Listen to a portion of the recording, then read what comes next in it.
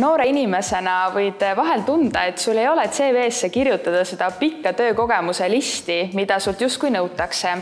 aga täna me räägime sellest, kuidas erinevaid kogemusi võib-olla nooruspõlvest rakendada enda kasuks ära CV-s. meil on külas Torest Marju. tere, Marju! tere! mis on tore, kas on organisatsioon, kus kõigil on tore olla? no saab ka nii tabavalt öelda, jah. see on väga tabavalt öeldud küll meie organisatsioon on selline noorteorganisatsioon, äh, mis tegeleb äh, sellega, noh, ühesõnaga meil on eesmärk, meil on väga suur eesmärk ühiskonnas, me tahame, et ühiskonnas oleks rohkem sõbralikke, ennetava mõtteviisiga äh, toimivaid inimesi, kes on orienteeritud lahendustele ja positiivsele maailmavaatele. nii et selles mõttes võib öelda küll, et jah, me oleme hästi toredad kõik aga minnes nüüd saate teemasse, me räägime, kuidas saaks ära kasutada oma noorteühingusse kuulumist, näiteks siis Toresse kuulumist oma töökogemusena. millist kogemust noored siis eh, sealt organisatsioonist saavad? jah, et eh, noorteühingud on ju väga erinevad, eks ju, neid on päris palju Eestis ja igas ühingus on oma spetsiifika ja oma asjad, mis mm, kogemusi annavad aga ütleme siis nii, et äh, kui niimoodi vaadata, et mida saab nagu välja joonistada läbivalt, siis on korraldustöö kogemused, on need, igas organisatsioonis on midagi, mida nad iga aasta korraldavad. Äh, nad võivad küll erineda, et kas see on ju väga erinev, kas sa korraldad matka või spordipäeva või konverentsi ja siis ähm, sealt need kogemused tulevad, et kui meie ühingus, äh, Tore ühingus vaadata, mida Tore noored tugiõpilased teha saavad, siis jällegi siin on väga palju erinevaid võimalusi, üks on hästi kohaliku tasandi võimalus, see, et mis nad ära teevad oma koolis näiteks. Ja teine on vabariiklikul tasandil, et meie oma organisatsioonis hästi teadlikult kaasame noori tõesti oma suuremate sündmuste korraldusse. Ja meil on kaks suuremat sündmust, konverents ja suvekool. Ja seal on siis äh, väga palju erinevaid võimalusi, kes on siis niisugune tehnikainimene, saab näiteks proovida, kuidas ma kogu mingit sündmust, heli, heli vaatan, et oleks ja valgus paigas ja samal ajal teine on hästi suhtleja, siis saab olla see, kes võtab registreerimislauas vastu ja kolmas on väga hea õhtujuht ja et äh, sa pead teadma, mis on sinu tugevused või vastupidi, isegi kui sul ei ole, siis seal sa saad ennast proovile panna ja pärast analüüsida ja mõtestada, kas see oli minu jaoks ja edaspidi noh, tõesti tööle minnes kuskil, siis sa saadki öelda, et kui sulle see ala sobib, siis sa saad öelda, et mul on ka need kogemused, ma olin seal ja seal ja täitsa teadlikult tegin seda ja ja vastupidi ka, et sa siis võib-olla ei valigi, kui sa, kui see kogemus õpetas sulle, et see ei ole minu teema noh, selliseid näiteid on ka alati. aga et seal noorteühingus sa saad hästi turvalisel, vabal moel seda ja keegi ei vallanda sind, on ju.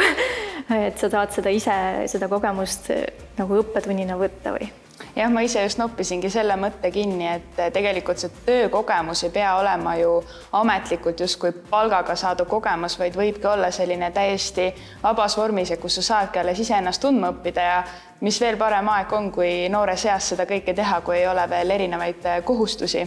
aga kas sul on ka mõned head kogemuslood näiteks rääkida, kuidas tõesti see noorteühingus kogemuse kogumine on väga palju edu võib-olla toonud töömaailmas?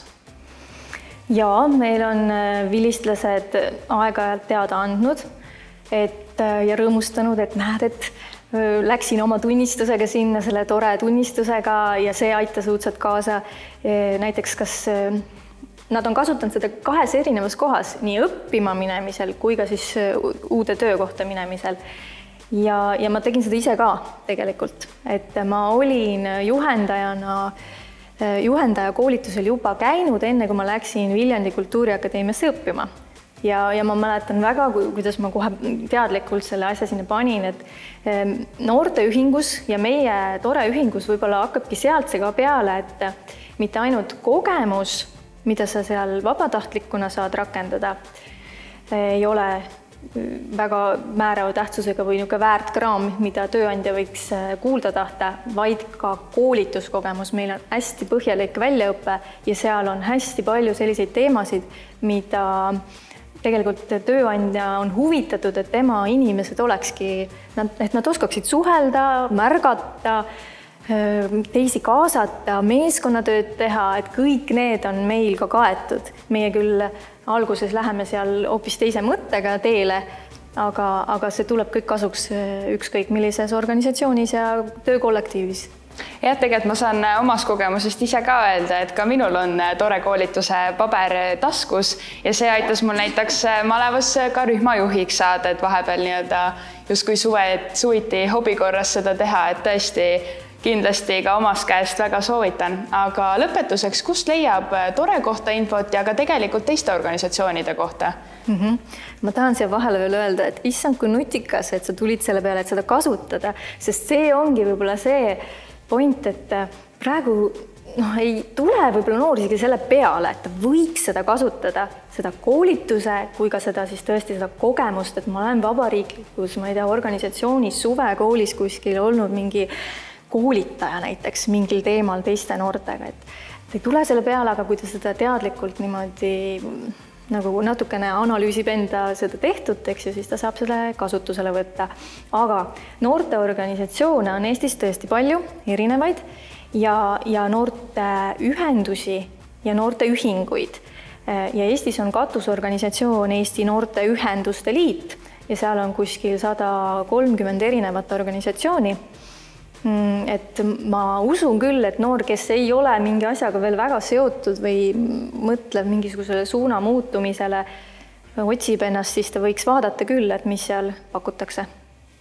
aitäh sulle selle toreda vestluse eest ja kindlasti ma arvan, me mõlemad julgustame noori väga osa võtma erinevatest ettevõtmistest, sest et see kindlasti toob palju kasu tulevikus, nii et ja leiab rakendamise võimalust. kohtumiseni ole kursis töömaailma teemadega, kliki telli või subscribe ja näe kõige uuemaid videoid esimesena